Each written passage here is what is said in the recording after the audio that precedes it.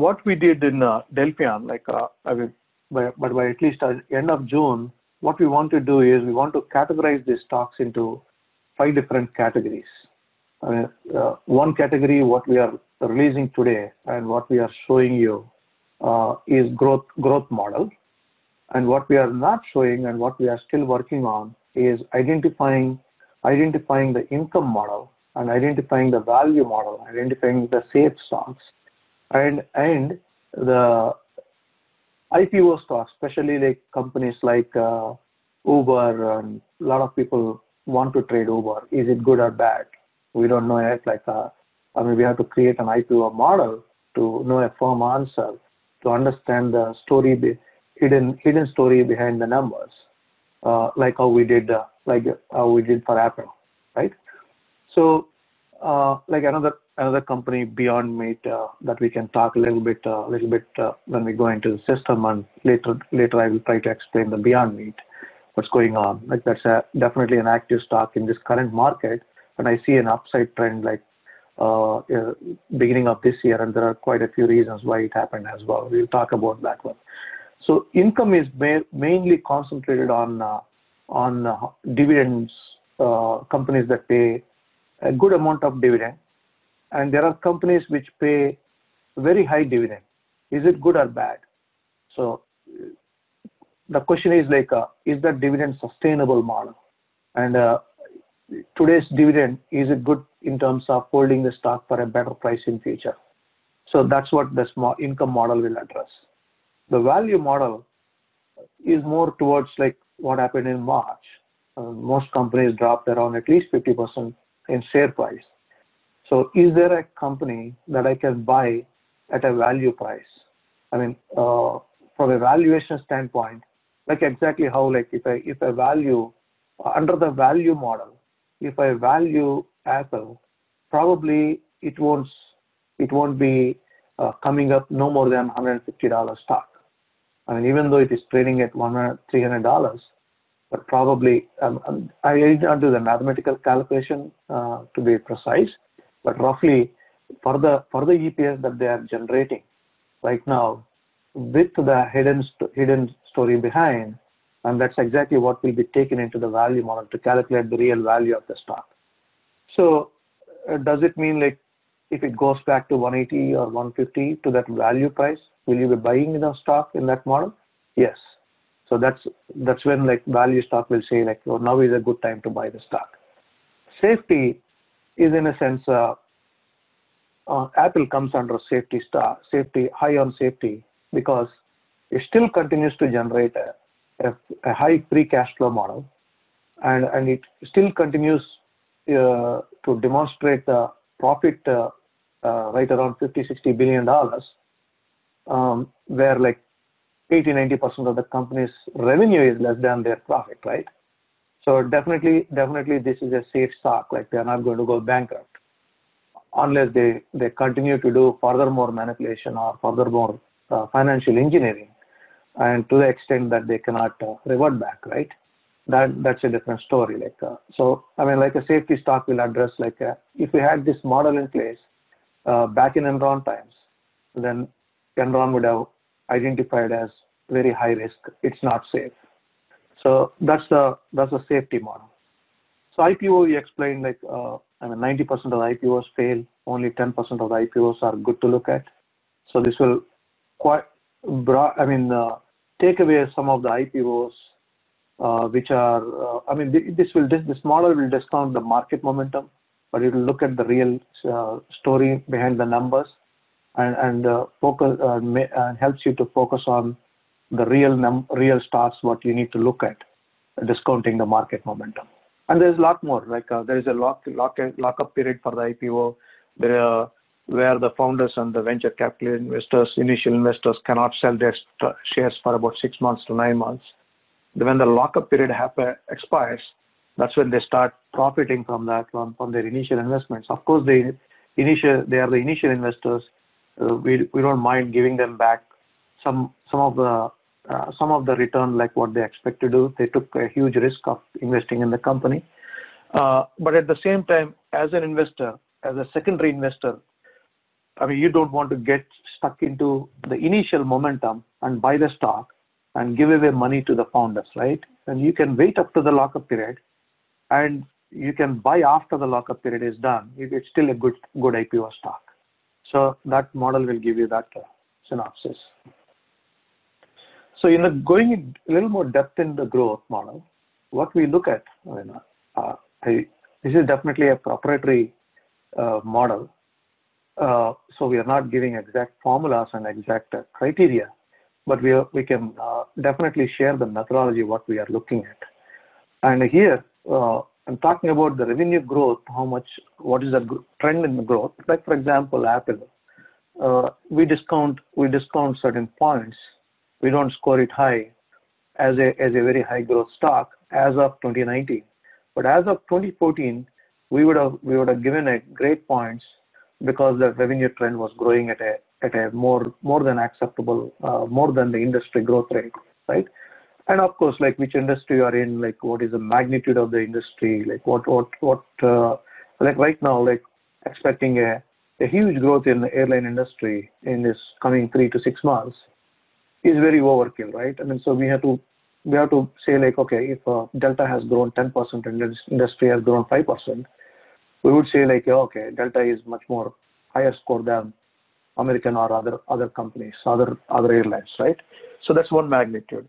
The other thing is like uh, there is a financial engineering aspect which I showed you demonstrated in Apple, right? But at the same time, like uh, there is a core business for every company, and every company is expected to do good on the core business. So they don't have to go into this. If they are continuing doing the good good business in terms of core business, then they don't have to go into the financial engineering aspect, right? So for that reason, we focus on operational profits, not the net income, because net income is what the EPS, and so we we uh, we threw that EPS away in this model. We said we won't even look at the EPS growth, uh, like unlike unlike several other fundamental analysis and uh, quality models, uh, they use that one, but uh, but we, we threw that away and we concentrated on operational profits, and as well as like uh, how much free cash flow exists, like uh, in terms of if they want to give it back to the shareholders in, in the form of dividends, or they want to reinvest that free cash uh, available into the company, buy another company, or or maybe like expand into a, a newer products. I mean, there is a horizontal acquisitions, there is a vertical acquisitions. So uh, to grow into a different, to cater into a different uh, uh, industry, uh, they want to invest sometimes like uh, in certain products, like which will take their current products into the newer industry, right? So that's that's exactly what we want to look at uh, a little bit more higher. And of course, like how are they structured from a capital standpoint? Are they are they under stress? or are they are they under uh, um, uh, very comfortable position? Uh, of course, the debt debt ratios also debt uh, in terms of uh, that's a in general. If you want to take a loan, and every banker will ask what is the income and what is your current debt levels. And they look at uh, what is the risk levels, right? Those are same similar risk levels. Of course, like there are a few other few other operational elements which we can go a little more in depth, a uh, little more uh, as we go along. Uh, we'll learn about more. So once we once we do this modeling on this methodology, and what we do is we do a, a scoring model which comes up with a with a certain quantitative figure. Like uh, uh, so, once a quantitative figure is uh, is achieved, then we do an industry average, and we look at the standard deviation across all the all the companies in that industry, and and we say like if a bell curve fitment, ideally, if you look at a, if you look at a, any group of 100 people, you bring any group of 100 people, and 20% of the people will be height will be more than six feet, or or at a certain at a certain range. After if you divide that into a standard deviation model, that uh, sample set of height of 100 people, uh, nearly around 15% 15% is what like this this side of it uh, beyond the standard deviation, right? If I add up this 13.6 and uh, 2.1 and 0.1 and all, like roughly around 68.2% uh, will be in the middle, and the rest of the 30, uh, 38, uh, yeah, 68, right? 32.8, 38.8 is divided into this is right side and the left side. So that means roughly around uh, roughly around half of this half of this side are a good performing companies, A grade companies, and above average is B grade companies. Below average but not within the bottom category is C grade companies, and the this uh, on the left side of it is is a D grade companies in terms of scoring model based on the score what they got, right? So it makes it easy. It makes it easy for us to identify the leaders in the industry. Like if an industry has a hundred companies, and maybe around 13 companies will come as A, and 38 companies will come as B, and 38 will be C, and another another uh, uh, I mean 16 companies will be coming as a as a D D grade, right? And we have only so much money that can we can deploy, and as is like uh, any hedge fund also similar way. So they use a they use a capital allocation model to 30% uh, in A, A grade companies and uh, another 30% in B grade companies, maybe shorting shorting the D grade companies by using 20% of the capital, and then maybe they are using a a very longer term longer term strategies in terms of C grade companies about uh, uh, 10 20% of the companies because because sometimes the C grade company will can turn into a B grade company as well as B grade company can go into an A grade company or A grade company can turn into a D grade company. You never know, right? Every hedge fund has their own models in terms of qualifying the stock and uh, identifying the story behind uh, uh, behind the numbers, and they, they do go behind the numbers. so, what we can expect in terms of Delphi A grade is Delphi A grade, A grade stocks should be less volatile and they should also have a faster recovery compared to the D grade stocks. Similar obviously opposite to that is D grade stock, which is more volatile and slow recovery. So let's take a look at uh, one uh, dimension for the current uh, Delphian customers subscribers. We have we released these screens today, so you can go to this industry overview take uh, since we are on Apple, like we can go and look at Apple itself. Like first of all, first of all, you can also look at uh, go to the stock overview.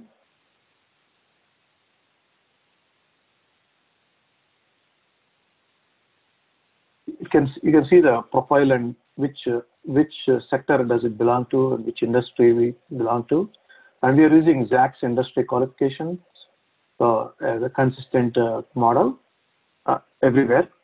and we can also look at look at a brief description of the company.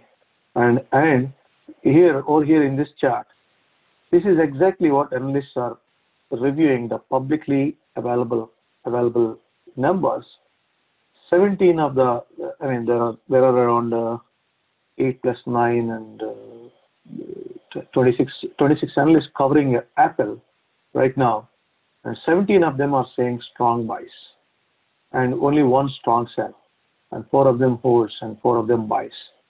This is common. I mean, this is common. Like uh, they they are they have the same numbers as what we have, and the way we we dissected Apple in a different way and we come up with a neutral. Neutral, it's still a strong stock because of its uh, overall profitability and overall money that it can generate using the current products. But from the angle of innovation, they are losing innovation and they are using the financial engineering to uh, make up the numbers. That's our dissection. So I'm I'm slightly neutral to a uh, bearish, uh, more to say, on Apple with the with the current price of uh, 313 model. But here you can also see the state modeling, which we can see a little bit later. This is using technical analysis. So okay, so we can come up with that. We can uh, uh, we'll go a little more depth in that uh, little later. But you can also see you can also see like once once you find these once you find these numbers here, which industry does it belong to? I can go to sector and I can go to the industry, and I can also see uh, uh, go to the Delphian grades. You can see the revenue overview. Apple is making a, a very high market share in this industry, and the competitors are not uh, Google, Facebook, and Microsoft like uh, like how you think. It belongs to the hardware manufacturing industry.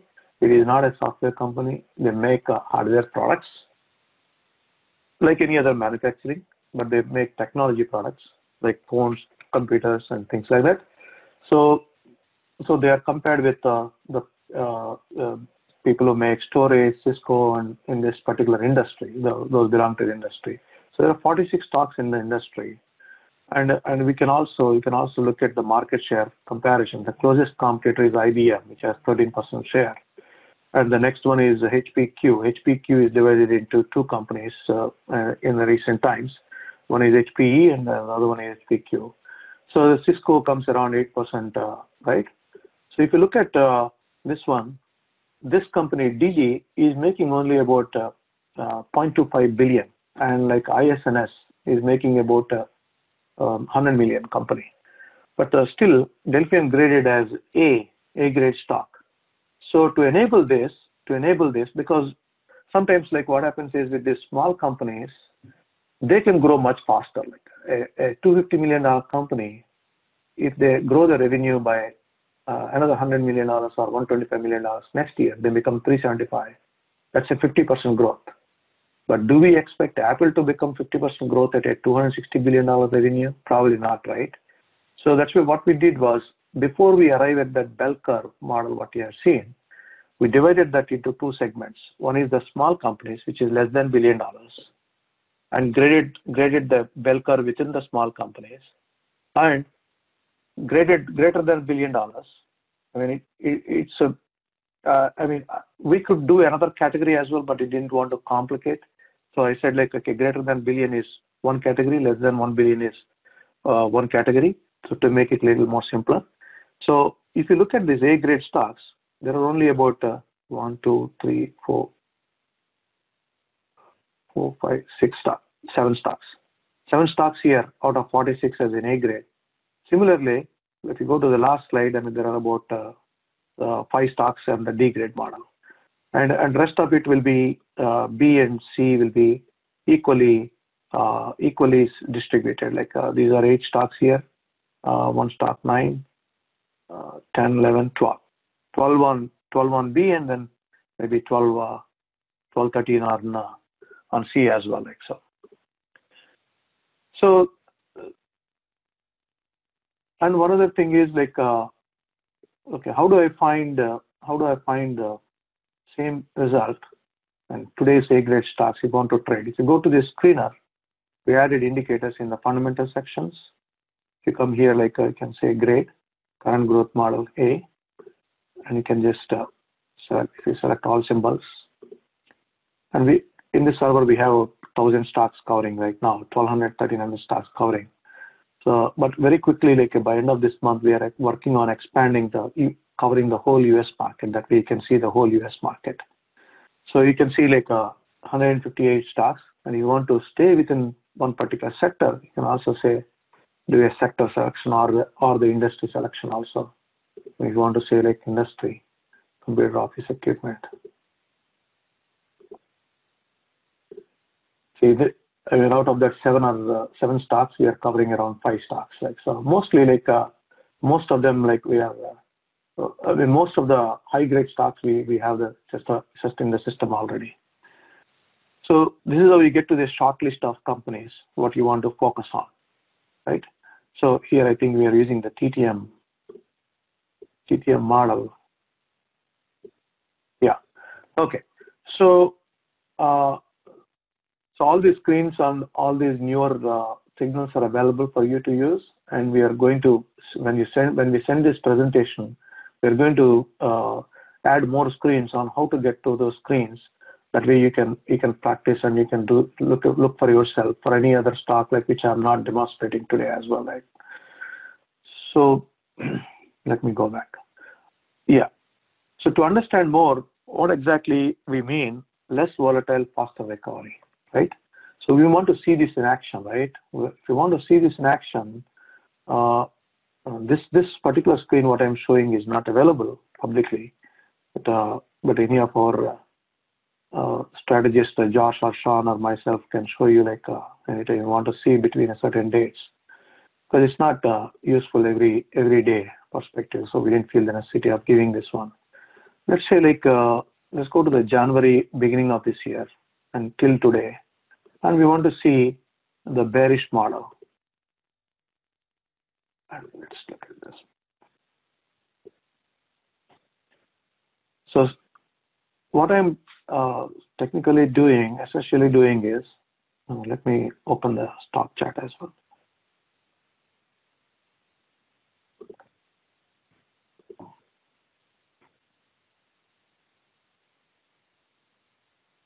So we all have seen like market falling, I mean, starting uh, somewhere around January onwards, right? I mean, from February February to March, like it's a very big fall. So what we want to see, I mean, this is exactly showing like between uh, February 12th and March 23, uh, the SPX had fallen 35%, and Dow Jones has fallen 38%. Uh, Russell had fallen like more, like 43%.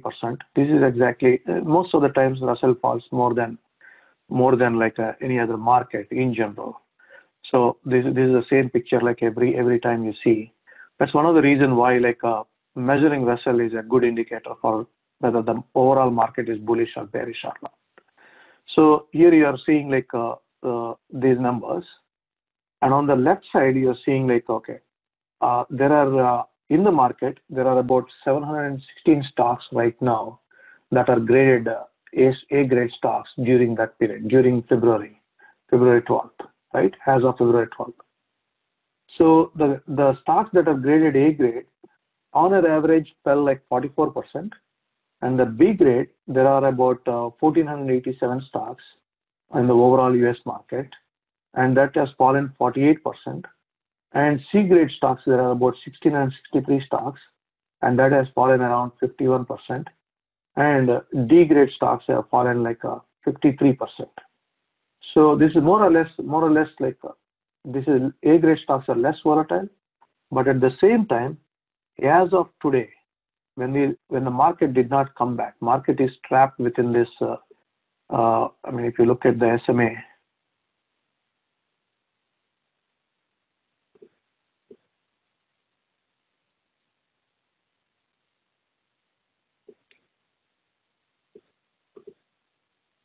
market is not bullish yet. So market is trapped between these two numbers. If you look at this, 2998, 3000, there is a big resistance there versus like a 2716. And if you look, if you look at EMA 200 also like a 2950. So right at, right at where the stock stopped yesterday, right? So right around this time, this place, there is a big resistance. These lines are big resistance.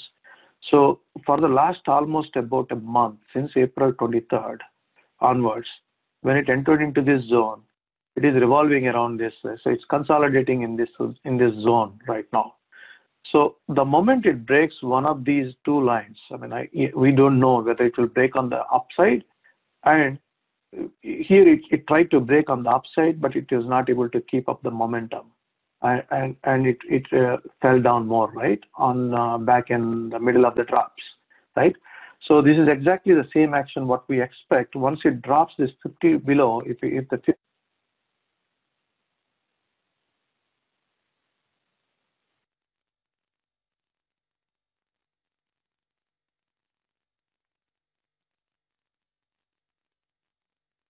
right?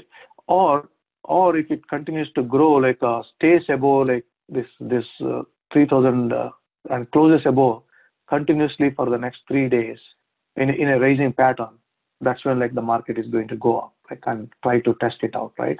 But very unlikely because the coronavirus val, uh, earnings. I mean, what we heard in the earnings is only partial shutdown of March for a lot of businesses. And uh, before the impact was uh, uh, impact was magnitude, uh, I mean, baked into the calculations. I mean, uh, they already had a full month of uh, January and February. A lot of businesses were not much impacted. I mean, airline got impacted a little bit earlier than earlier in the cycle. But when you look at retail industry, even though the coronavirus and the lockdown started in March, uh, but uh, there's a lot of buying buying products, and uh, that's why you're seeing like retail posting like a very good huge numbers. And still, we may continue to see that, but we don't know that magnitude. Uh, but the whole of April is shut down, and and partial of May is shut down, and even though partial of May is open, but nobody is actually booking the hotels for vacations and things like that. Yeah, people who are uh, getting like a little bit frustrated, like they're going to uh, beaches for a quick two three hour uh, fresh air or something like that. But it's not much of a huge increase in the business Uh, business uh, business zones yet. Like I mean, restaurants are open for dining only for a 22% capacity, so that does not bring bring the hotel chains and the restaurant chains like uh, up to the up to the level of what we can expect in the earnings in terms of quarter two, right? So the quarter two results are not not yet fully baked into the pricing. And when you looked at this recovery, recovery along with the market, right, they recovered way more than what they are currently valued. So from a valuation standpoint, stocks are very high valued right now. When I when I when you do the price to the valuation, the price is much higher than than what they actually value the stocks. Like so, that's exact phenomenon what we will see, and and of course this will only be true when it falls. That would be the reason you will see like a lot of articles being written on this one. Right now they are saying like, okay, drugs are coming, economy is going to go up and. Whenever Powell comes and or any of the economists comes and speaks, market is coming down. Whenever the medical folks come and speak about virus or about the drug or uh, the hope, then the market is increasing. So it's a battle between the med- med- uh, the medical medical versus uh, economists and we don't know which way it will it will route uh, will go route right so so at the same time like uh, what if you are what if you are invested in a grade stocks and and not focus on d grade stocks turn around and then invest only in 44 uh, in the a grade stocks only right so that means they are less volatile even if market comes down so your a grade stocks are going to uh, lose less on an average on an average than the D grade stocks. This is one big benefit. Let's take uh, let's let's use the same market scale. Go back and uh, look at uh, one or two more periods also. Let's let's look at uh, this one is uh, yeah this one is uh, December October 2018. For those of you who are trading back then, will remember that quarter very well. In 2018, exactly on quarter beginning. Exactly on quarter beginning, like uh, the decline started and it didn't stop until until December.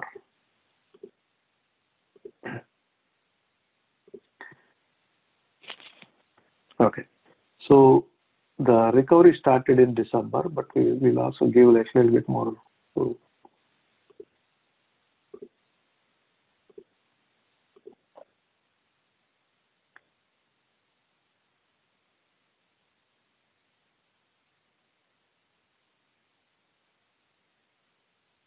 What I'm doing is, uh, see the market recovered, right? The market recovered. So I'm, I'm giving until until around February end. So I'm measuring from between here and here. The market recovered to about almost 60, 60, 70% retracement to the drop, to the overall drop, right? Back then. So if you measure that, so the A grade stocks, first the market dropped around 20% during that time frame uh, uh, on the SPX, and uh, same as those ones also, like and like like what we saw the phenomenon, like the recent phenomenon. Russell dropped 27% there, right? So here, if you look at uh, if you look at uh, A grade stocks, they dropped around 26%. B grade is 27%, and C grade is 32 and 36. So right, right, exact phenomenon. If you're more of an options trader, then we don't concentrate on prices more than uh, less than $20 because it doesn't make sense to use options for stocks less than $20, we are paying more for the options in terms of percentage of the option price. If you look at these also, like it, it uh, follows a similar phenomenon. Within that 1% range, A and B stocks, like they're more or less stable than C and C and uh, stocks. But if you also look at the recovery rates, right, the A grade stocks recovered uh, almost to near zero. I mean, whatever the last whatever the last price is being recovered. But here you're looking at uh, uh, two percent and eight percent there. D grade is yet to recover, like so. And the thing is, like if think this way, if, a hundred dollar stock drops to fifty dollars, and to recover back, come back to the same hundred dollars, it need to go back hundred percent, right? So that that log mechanism, the log return mechanism,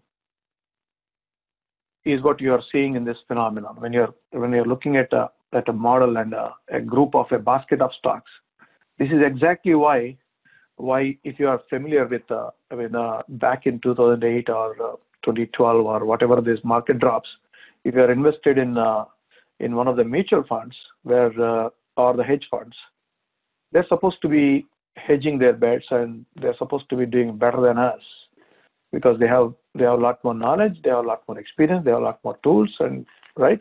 But when you look at statistics, only about 10 to 20 percent of the hedge funds do good, even in bad markets. I mean, or less than less than 10 percent, right? Why? Because they don't they don't do exact hedging, and they don't do it properly. That's one of the reasons. And the second reason is like uh, you all also see like uh, for example mutual fund, which is not even a hedge fund.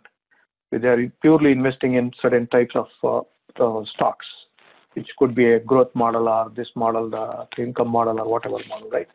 So when they don't have the grading model or, or if they don't use any of the grading model in that mutual fund, as a bunch, when they go down, they go down more but when they come back, when the market comes back, you don't see they coming back. See, the reason is when they drop 25%, if they have to come back to the come back to the 0% recovery rate, this rate, they have to grow around 32, 30, 35% more from where they are right now, right? So that makes it difficult for D grade stocks to come back to zero, and that makes it easy for A grade stocks to come back come back very quickly. That is a that is the reasoning behind why the recovery will be quicker in an A grade stocks. Also, let's take one more period there.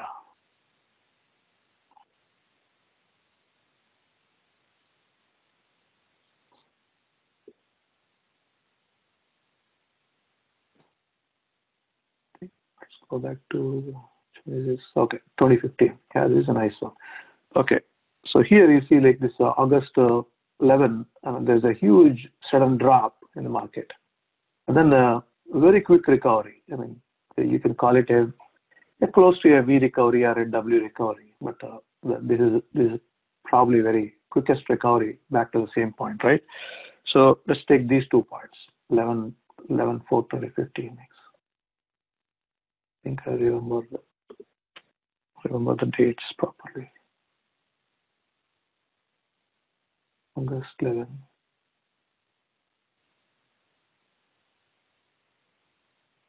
Yeah, here also if you see 18%, uh, roughly around 18% in A and B grade stocks, and C grade stocks is 19%, and D grade stocks is 23%. And even when your when your recovery rate, right? Look at recovery rate. This is a 4%. Uh, I mean, A grade stocks are worth 4% more than uh, by this point, by this point, uh, they recovered more and went into the positive direction. And then uh, B grade is near zero, C grade is near zero, but D grade is not yet. So I think if I can look at all stocks. And the market has fell 12% uh, in a very short time frame.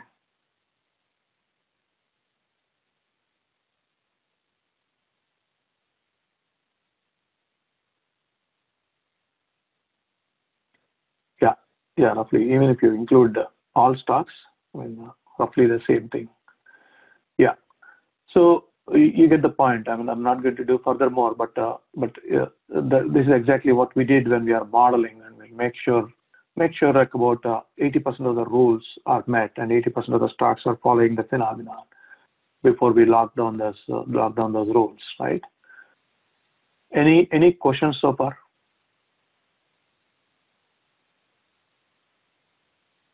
Yeah, Ashok, we had some in chat. Um, if you look at the Q and A, uh, Yeah.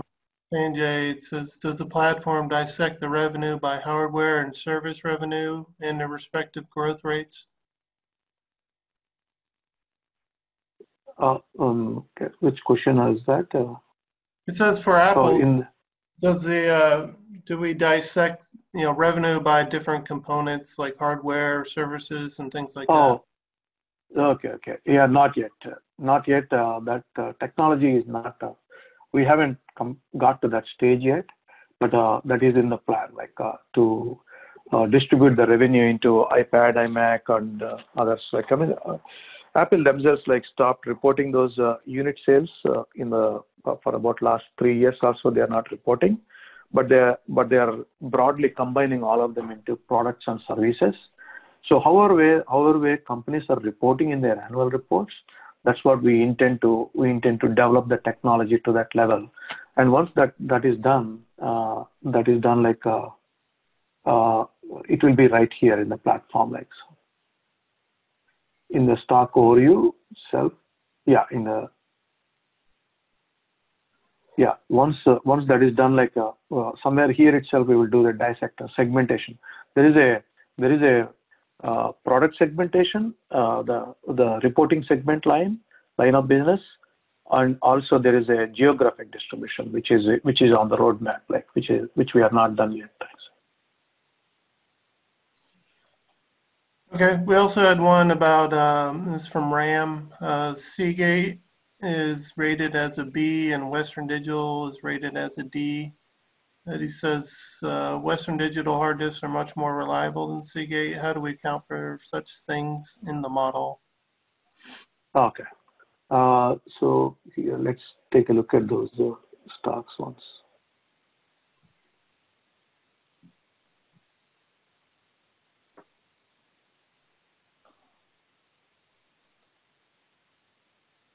Did you see that here? The Seagate. Let me find them. I think it's STX, I think. Yeah, Seagate is STX. Okay, this one. And uh,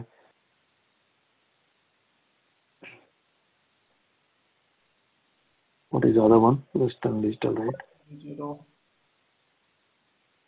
Easy to do it by seeing. Okay. Okay, if you're looking at this uh, this score, right, 59.33 versus like a uh, 32. Uh, yeah, Western Digital is a D grade stock, like so.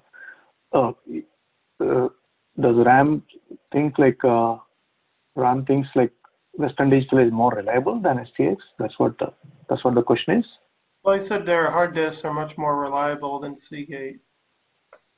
Oh, okay. From a product quality standpoint, one is like, I mean, yeah, sometimes the product quality does not mean the financial stability of the company. They might be making good products, but they're not able to sell that uh, effectively. So, I mean, one of the reasons like why the D grade stock is basically, so if you look at this uh, 15.58 billion, right? Uh, so uh, that's revenue, 15 billion revenue translating into operating income they're losing money by having their by running their business they're losing 728 million dollars yearly uh, in in by western digital.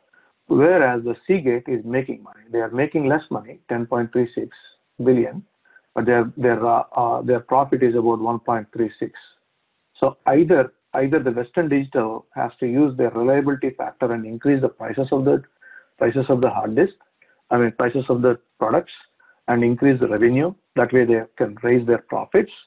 Uh, they have to do something like uh, the management has to act do act on this uh, losing uh, lose, losing profitability. That's exactly why they are employed. Uh, so we we can analyze what they can do, but even though we analyze what they can do, but we are not the people who can action that right. So there's no use. Like uh, so, our our point of view is like, are they good enough in terms of investment or not? When it comes to this one, right? I mean, you can you can do this income analysis. Yeah. So if you look at this income analysis, there there used to be 20 billion uh, last year. Like they dropped dropped in revenue. So this, this is exactly the problem. This probably is exactly the problem. Here, uh, uh, I mean, since 2010, uh, the, a good growth rate uh, up until up until 2017. And here, if you look at this uh, cost of goods sold, right? This is a variable cost. So this variable cost is, pretty much almost constant. They're able to grow the revenue, but they're not they did not add much of a variable cost, right? Which is good. That's what increased their profitability back in 2017. But by the time when they came to 2019, last year, we don't know what happened. But their cost stayed the same, but they're not able to sell the product. When you come to this gross income, it, it fell from six, used to be six, seven billion dollars to around 3.75 billion dollars, but they did not reduce the cost.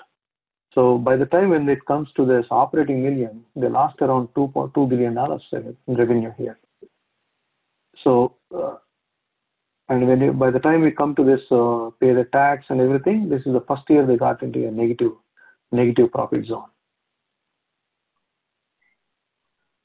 Right. So, uh, whereas in Seagate, we look at the financials. Yeah.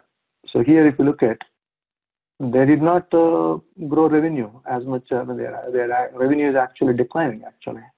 I mean, pretty much like compared to 2011, 2012, right? Because not a lot of people are buying their products, uh, and they are probably are not in the data center supply, so which is a growing market. But their cost also is manageable cost.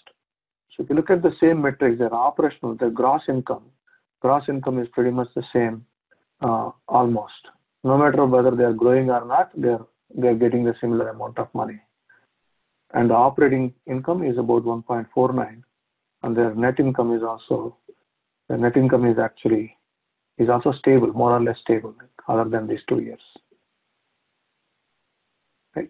So what we are analyzing is the financial stability of the company and the future growth of the company there's a little more to it. Like uh, uh, when we, go a little more in depth, like we, we can take these two examples and then we can analyze WDC and Seagate as well. Uh, Shuk, we had one other question is from Ray just about the market. He said, while the market is stalling as per state modeling, we're still bearish on VIX. Does that indicate potential positive for uh, equity prices? I'll, we are still bearish on the VIX. Uh, I mean, yeah, yeah, bearish on the VIX. Uh, yeah, I wouldn't, uh, I wouldn't use much pay attention to the VIX state modeling. Uh, I mean, state modeling on VIX particularly. Like, uh, I mean, there are very few stocks I would say that one, but uh, because because truly like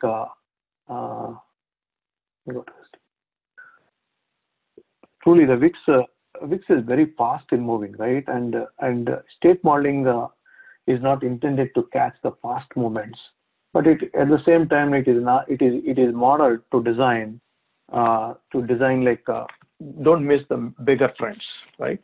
But at the same time, don't take this uh, one day flips, one day this side, one day that side. Like uh, we try to minimize as much as possible. That's one of the reason, like why. So, uh, but at the same time, like yeah, uh, if you look at this VIX chart, right?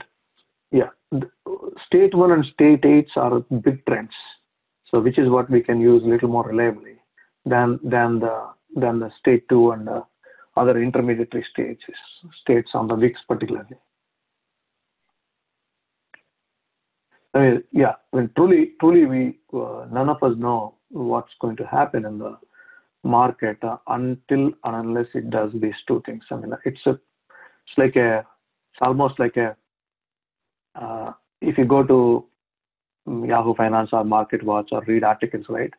If today's market is up, they'll write positive stories. If today market is down, they'll write positive stories, uh, negative stories. So it's almost like that. They also don't know, like um, so nobody knows. So the, the the real meat of it is, okay, we need to look at the growth in EPS how the how the how the uh, whether the, S&P 500 companies together as a bunch are they increasing their profits? I mean, EPS is a good measure for uh, publicly uh, publicly mm, uh, available measurement. Uh, but if you come back to this hidden story model, like forget the hidden story model for a second. But if you look at the EPS growth, uh, EPS growth, more or less like not many companies do the financial engineering like the way Apple did to that extent. And uh, uh, at the same time, every company does some kind of uh, some kind of a, uh, small uh, financial engineering to the level what they can manage. But at the same time, nothing nothing Apple done Apple has done is illegal. Everything is legal, and they did exactly uh, what is accepted by law and what is what is exactly uh, allowed in terms of accounting. There's nothing wrong. I mean, Apple did not do any fraud. Apple did not do any mistake in stating their EPS. Uh, just because they have cash, they bought the stocks. Just because they have the, but as, as a fundamental investor, you need, it's your responsibility to look at like that underlying story. So if you look at the underlying story on uh, on most of the SPX stocks, maybe around 50 of them you'll find hidden stories. Maybe 450 you wouldn't find any of them. Uh, so, but all in all, when the EPS or the operational income, what I'm talking about, operational income is growing for companies like that, right? That's what that's when the market will start growing actually. Uh, otherwise, the irrational market will continue. So, I mean, what happened in the last 10 years itself is irrational market. So one other thing you can also look at is in the industry. In the industry screen, we provided these charts as well. See, this is exactly uh, the revenue growth uh, for all the companies added together. What you are seeing here, as an industry, this entire industry, it, did it grow or not?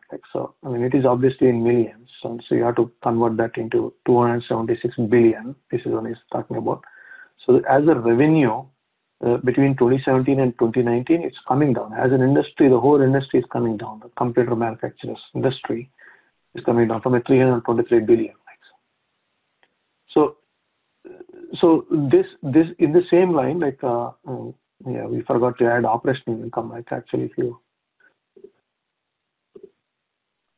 Yeah. So this is the net income profitability what they're declaring. So 2017 was about uh, uh, roughly so become two billion. Like I we can go this screen. Yeah. So this is net income declared one, right? So this is the trend like what we want to keep seeing for all the companies. So I mean, the entire industry industry profitability is 64% of the industry profitability is Apple profitability. And so these Cisco and Apple, they are making the most profitability for the industry. So from this screen, we can see like IBM. IBM is another 9%. So these three companies together, they are making around 75 to 80% of the profit. Rest of the others are making small profit in, in relation to the industry. They're not able to capture the profitability in that industry. What other questions you have? Um, well, the other question is, well, there's one long one. It's in the Q and A. Um, if you can pull that up. But the other thing, you know, uh, I think we need to take five for you know people to get drinks, coffee, bathroom break type thing, real quick. Sure, sure, okay. sure. So we'll, yeah, we'll, we'll start at uh, 10:35, and um, it, Ashok, if you can just pull up that Q and A, Dave had a, a long question. I didn't want to read it over. Sure, sure. Okay, so we'll be right back.